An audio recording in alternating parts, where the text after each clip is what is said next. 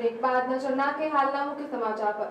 કોમી એકતા પદ પર એક થઈ સૌ કોઈ ઉજ્જવળ ભવિષ્ય બનાવે તેવા હેતુ સંદર્ભે હજરત ગેબન શાહ પીર ટ્રસ્ટ દ્વારા હજરત ગેબન શાહ પીર વલી અલ્લાહ ઉર્ષની શાનો શોકતથી ઉજવણી કરાઈ.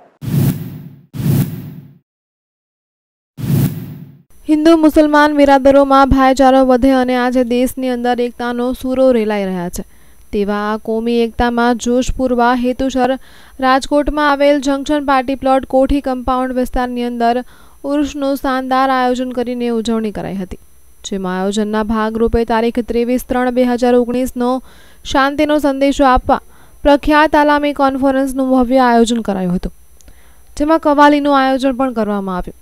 જેમાં પણ શ્રોતાઓએ નામી કવાલોને સાંભળીને મસ્ત થઈ ગયા હતા. અને કોમી એકતાના પ્રતીક સમાન હજરત ગેબન શાહ પીરવલી અલ્લાહની દરગાહે મોટી માનવ મેદનીએ મસ્તક ટેકાવીને દુઆઓ માંગી હતી.